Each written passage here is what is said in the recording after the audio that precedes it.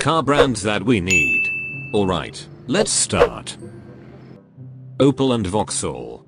You might say, but there is Saturn and Buick in game. Yes, but they don't sell actual good Opel cars. Where are the Vectras? Astras? Omegas? Calibras? The list could go on and on.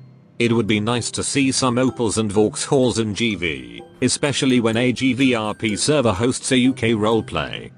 Peugeot, it's a really underrated car brand, in my opinion. They made great cars, like the 205, the 309 and many more. These would be a funny little daily drive to have. Ali would be really fun to toss around and stuff. Zenvo, I mean there aren't many hypercard in GV anymore, if they do add a Zenvo, it would add some flavor. The TSR-S is one of the coolest cars, with its self-adjusting wing. Really cool car, also a really good track car.